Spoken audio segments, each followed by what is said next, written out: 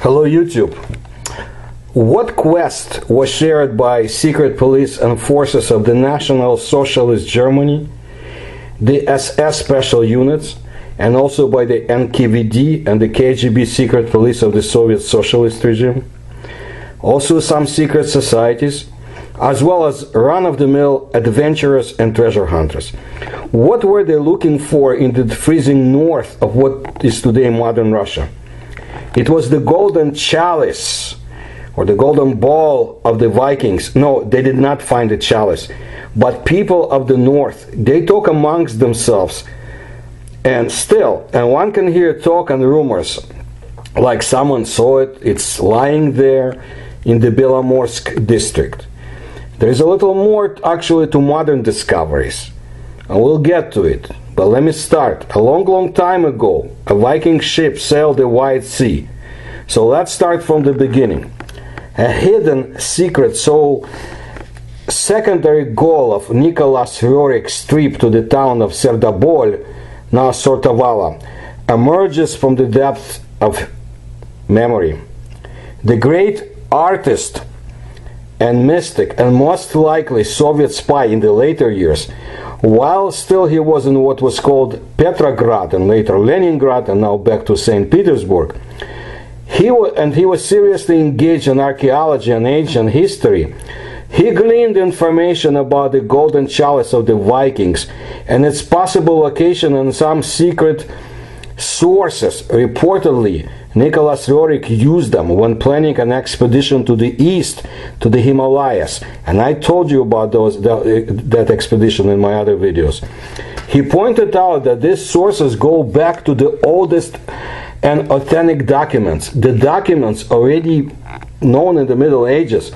Allegedly, they fell to the Templars. And after the destruction and prohibition of the order, they became the property of the secret societies. They are still stored somewhere.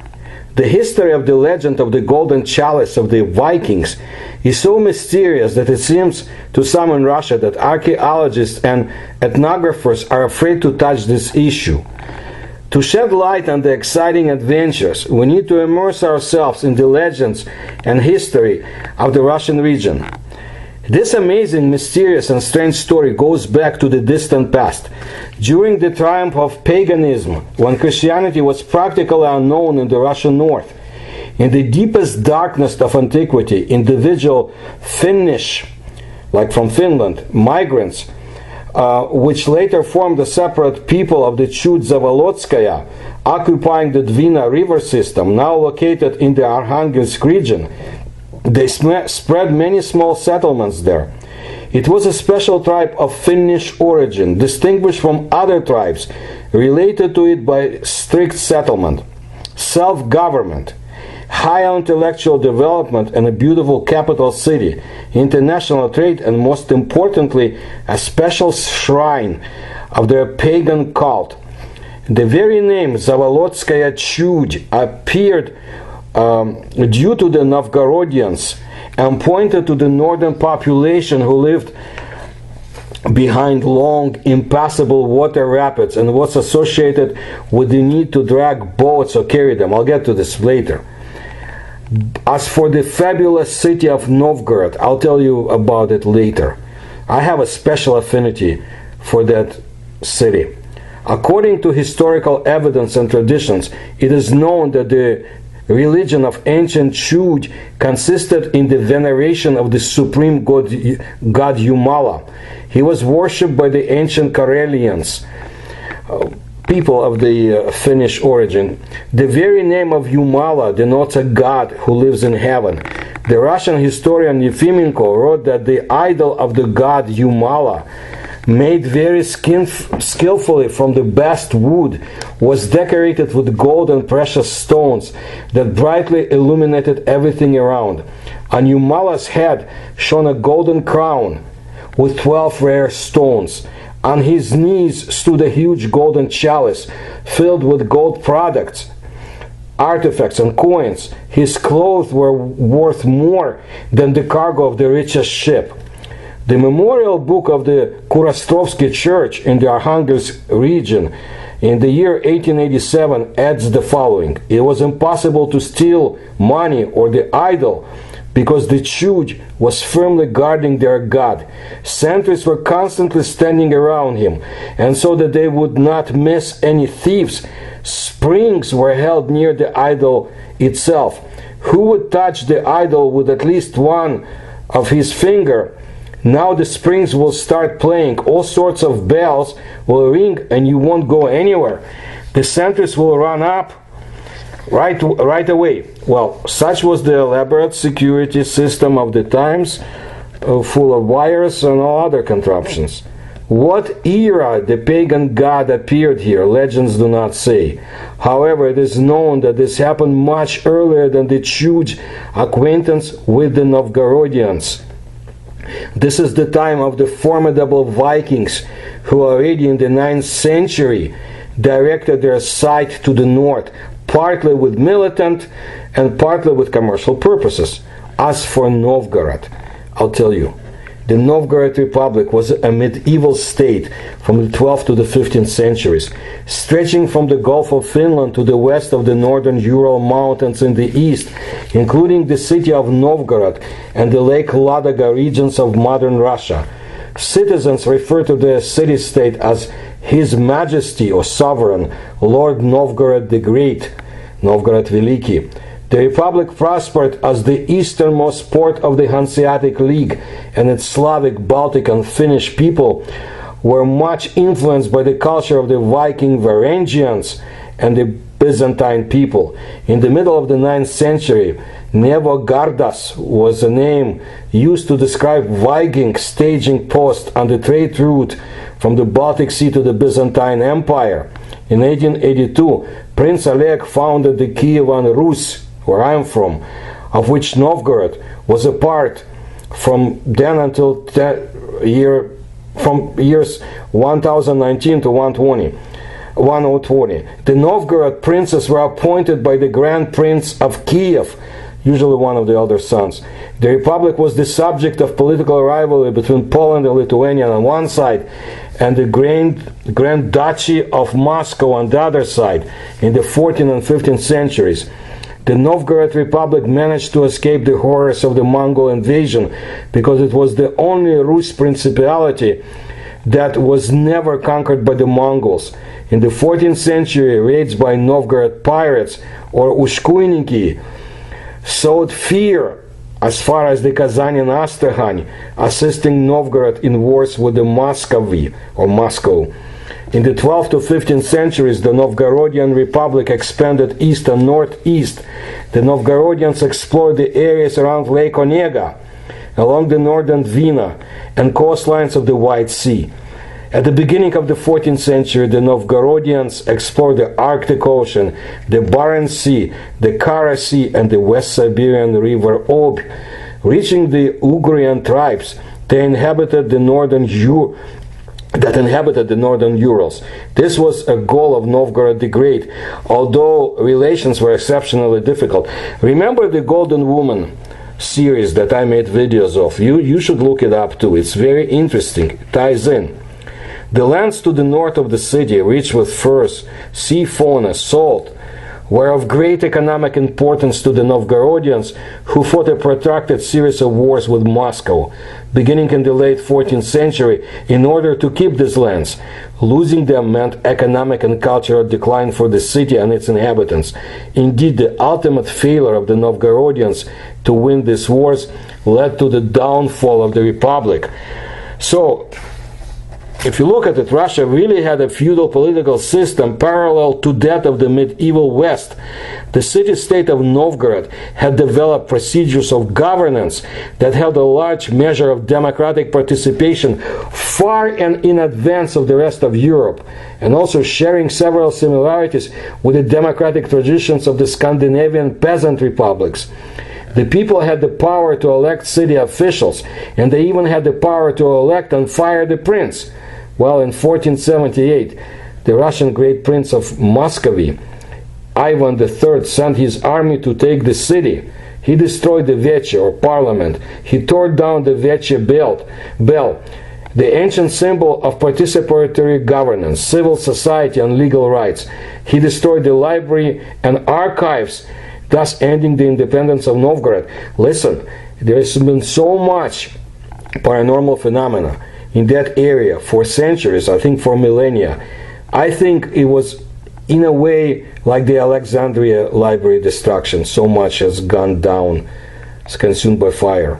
Well, after the takeover, Prince Ivan took most of the Novgorod's land, half for himself, the rest for his allies. The Muscovite despotism and tyranny won, and the Russian city of freedom and possibly West European like, or even better, development, it was lost. But let's get back to the treasures.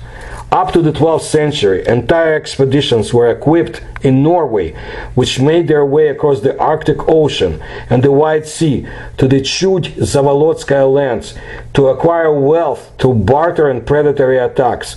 The nature of these campaigns can be judged by a number of remaining historical documents. Around 1920, says a Norwegian chronicle, a certain Eric made a campaign to Chud, won a great victory over the natives, and returned to Norway with a rich booty. The son of this Eric, Harald, went on a campaign in, 1964. He also won many victories and returned home with a huge um, booty of gold, silver, and other goods.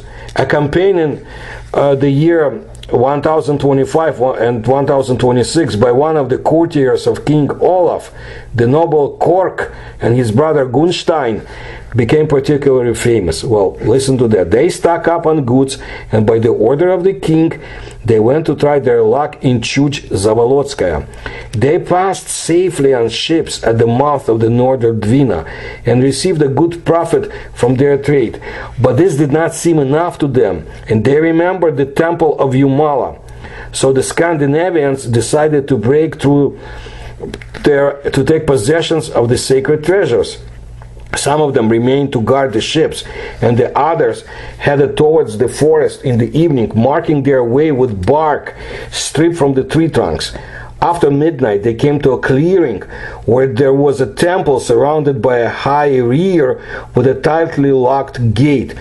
Uh, it was guarded by six natives who changed during the night. The Vikings managed to attack the temple just during the night shift that was slowed down for some reason. They seized so much gold that it was no longer possible for them to carry it away. But excessive greed ruined the brave robbers. Gunstein returned to Jumala and stole a cup filled with gold coins standing on the idol's knees. He poured the gold into the bosom um, of his clothes and took the cup with chalice in his hands, intending to flee. Seeing this, Kork rushed to Jumala and seeing a thick gold necklace around his neck, threw his axe and cut the chain. This blow turned out to be so strong that the severed head of the idol flew to the side. At the same time, there was such a hum that it seemed like a miracle to everyone. An alarm was raised in the forest. The Chud rushed to the defense of their temple and surrounded the Scandinavians, who did not have time to hide in the forest with their prey. They had to fight their way to their ships by sword and cunning. Some of them, led by their leaders, escaped and reached the White Sea, but were caught in a storm at the and they had to hide from the wind on the shore. However, the Chud continued the pursuit. Gunstein and Kork, with a small detachment, moved inland looking for salvation, but foreseeing the inevitable, they hid all the treasures in a small lake. Legends show that even captured Vikings did not say a word about the place where the treasures were buried underwater. We assume they were interrogated and tortured. Since then, various groups and expeditions have been looking for the treasures. Since the value is fabulous beyond belief, it is also believed that the chalice itself has magical properties. There are legends that the locals found a variety of gold objects scattered along the shore of the White Sea in a significant area. Be they as it may, be that as it may, research continues in the hope of someday solving this centuries old mystery. Let's now look at the Chud people. The fate of the people under the strange name Chud the White-Eyed, Chud who has white eyes, still remains one of the most controversial mysteries um, of the Russian history. Even though the Chud left its traces everywhere, in the names of lakes and villages, in the fairy tales and proverbs, in the archaeological cultural layer, this tribe simply disappeared from the face of the earth. Or did they? Who is the Chud Zavolotskaya? According to the overwhelming majority of historians, the Chud is nothing more than a collective concept by which the ancestors of the modern Russians meant the totality of some of the Ugro Finnish tribes. The language of these strangers was incomprehensible to the Russians, alien, and therefore they were called as chud or marvel, wonder in Russian, but also in the old Russian language, chud refer to aliens, the root of the word chuzhoi. Not space aliens, but just some, someone who is alien. Representatives of this mysterious tribe resided in the territories where representatives of the Finnish Ugric people still predominate among the population. Chud um, was the name that the inhabitants of Zavolochia the land lying within the boundaries of the basins of two rivers, the northern Dvina and Onega. In ancient times, it was necessary to drag ships from one river to another manually, by dragging or by volok. Similarly, the land areas between the two water spaces began to be called voloki, hence the Zavolochia behind the drag. A Soviet scientist archaeologist Brusov believed that the Zavolotsky um, region was inhabited by the first people about three to four thousand years ago. This is evidenced by the remains of tools and utensils found because of excavations. Moreover, according to historians, all the items are made very skillfully. What were the reasons for the disappearance of the Chud? A number of scientists claim that the Zavolotskaya Chud has not gone anywhere. It's just that the representatives of the tribe assimilated with other ethnicities Karelians, Veps, Russians. By the way, there is a rumor in Russia that Vladimir Putin is one of the he's of the Veps ethnicity. He looks like them. Being pagans, they nevertheless adopted Christianity on an equal basis with others, and having united with the newly converted, simply dissolved among them, adopting their writing, because the Jew did not have it all. However, some researchers believe that the Zavolotskaya Chud just did not want to be baptized because these people were ardent pagans and did not want to deviate from their faith in any way. Even many years after the spread of the new religion in Russia, the representatives of the Chud kept their appearance, indicating, for example, the loose hair of women, uh, that, and thus they showed that they had not given up on paganism. Especially, a lot of references to Chud can be found in fairy tales and stories of the old believers, uh, Russian Christian religious dis- dissidents from the 18th century. So, in one of these stories, it is said that a certain white king, white czar, who decided to conquer a mysterious tribe and gathered a huge army for this.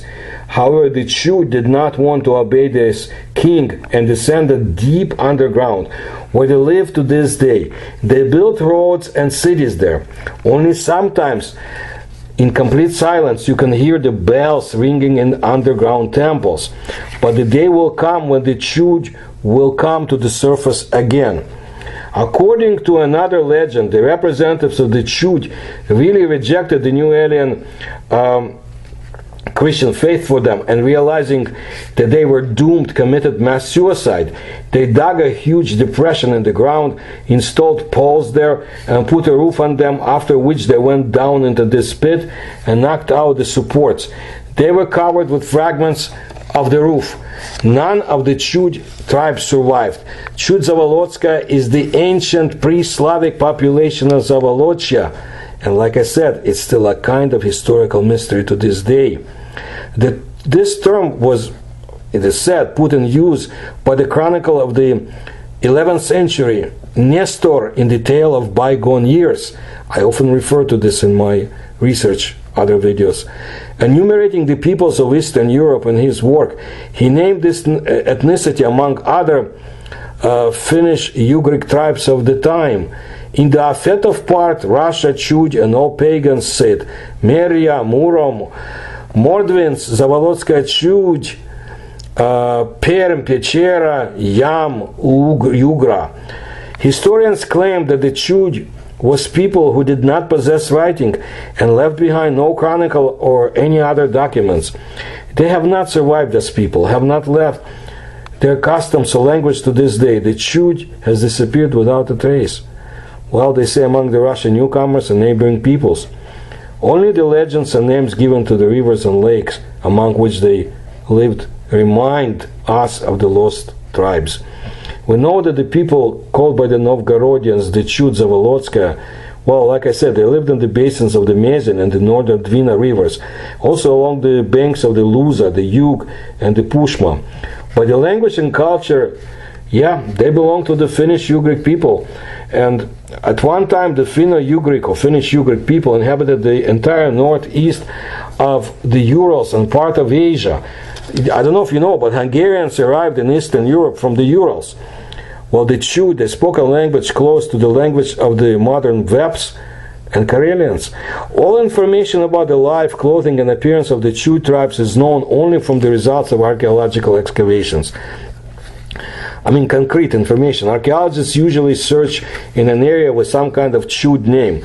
They find either traces of a village, a settlement, or a burial ground, like ancient cemetery. According to the finds, it is possible to determine uh, whether it was a chud or another Finnish Ugric tribe, or Scandinavians and Slavs who came to this land later, and there were many battles over the control. You watch uh, series about Vikings and so forth, so you imagine you imagine how it was happening at that time. They were people of medium and above average height, those Chud, presumably fair haired and with light eyes, in appearance most resembling modern Karelians and the Finns. Chud and other Finns can be confidently distinguished from, other, from others by the two types of finds by the remains of their pottery and jewelry. Pottery is usually made without a potter's wheel, by hand, with thick walls. Often it has not a flat but a round bottom because the food in, in which it was cooked it was cooked not in stoves but in hearths or an open fire. On the outside, such dishes are decorated with ornaments squeezed out on raw clay with the help of sticks and special stamps um, such an ornament is called a pit comb and is found only among the Finno-Ugric people. Because of the appearance, there is another name for these people. I'll repeat: the white-eyed Chud. Well, the, those two tribes they knew pottery blacksmithing they were able blacksmithing they were able to weave process wood and bone they became familiar with metal but not so long ago in historical terms because most of the tools were made of bone and flint and that's what was found in settlements they also lived by hunting and fishing. They were also engaged in agriculture, growing unpretentious northern crops oats, rye, barley, flax. They kept pets, although during the excavations of settlements in the Zavolochia, archaeologists find more bones of wild animals than domestic ones. They hunted not only for meat, those Chud, but also fur bearing animals. Furs in those days were used along with money. You could buy stuff with that. It was also just a commodity. It was traded with Novgorod, with Scandinavian, and with the Volga, Bulgaria. If you watch my videos, you will recognize some of the names I mentioned here, connected with ancient UFO sightings and other paranormal phenomena. Uh, so the Chud disappeared with the advent of Christianity, and as you know, their own religion was pagan. But I have told you before of another Chud people, the ones of the Ural Mountains mostly. In the old days and in the Urals, the legend again of the wide-eyed Chud was also spread of unnamed people who lived in ancient times along the banks of the Ural rivers and lakes. When plowing, plowing the land, peasants often, often found Chud artifacts, tools, weapons, jewelry, utensils. So at the end of the last century, iron and silver daggers were found on arable land near the Kaminka River. And in 1903, a peasant by the name of Fedorov found a bronze knife with a copper handle in these places. Traces of the white-eyed chud were found in almost every village there. These were ancient settlements with ramparts and moats ancient graves, mounds, or Ural uh, kurgani attracted the attention of people, causing them superstitious fear. There were rumors among the people about untold treasures buried in the mounds.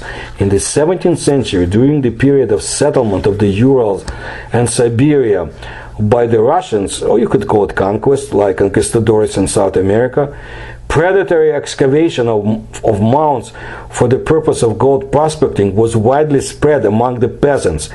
Grave, graves containing skeletons of the buried and objects placed with the dead. People believed that the mounds they had excavated were not graves of the ancient Ural people, but dugouts, dwellings of the unknown Chud people.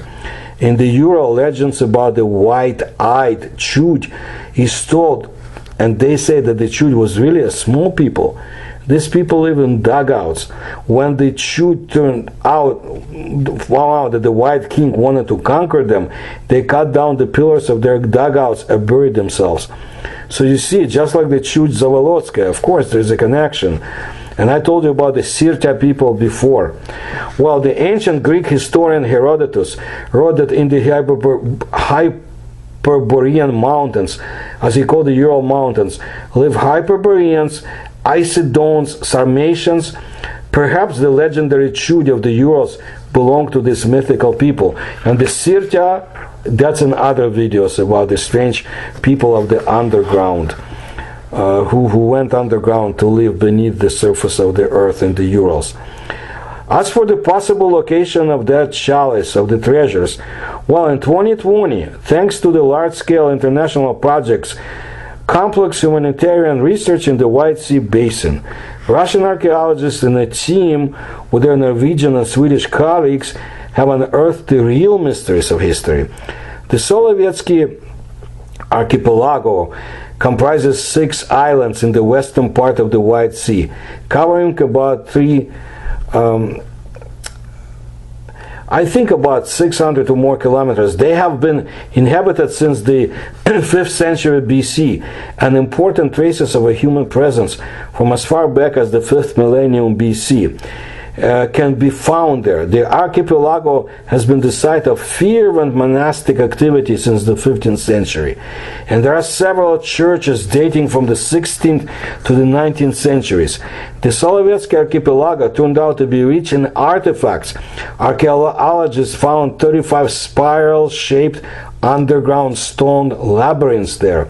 And this is really the most intriguing mystery of the Biarmian civilization. One can only guess what or whom the structures were intended for. According to some sources, the borders of Biarmia stretch from the northern Dvina to the Pechora and from the White Sea to the Kama river. According to others, its borders were even wider and reached Finland in the west, Norway in the north, seizing the White Sea coast and the Kola Peninsula in the territory of the entire Russian north. Remember my videos about the Kola Peninsula. And if you, like mysteries of that area, please watch them. The Biarmia was followed by the imaginary and fantastic country of Jotunheim, the land of giants, the homeland of horrors of nature and evil sorcery. The Novgorod Chronicle mentions that the Normans, Murmans, uh, repeatedly raided the Zavolochia belonging to the Veliki Novgorod the clashes between the Russians and the Normans were mainly due to the fishing in the uh, Northern Sea. The inhabitants of Zavolochia even paid tribute to Norway and sometimes raided the Norwegian lands themselves. All this proves that the sea route from Norway to Russia was used in the Middle Ages, and at least on the shores of the northern Dvina, the Scandinavians in the 10th to 15th centuries, they really appeared. In addition to the labyrinths on Solovki, there were ruins of pagan altars, totems, sanctuaries, and giant stones, clearly oriented to the coordinates of the stars and constellations that the Biarmians worshipped.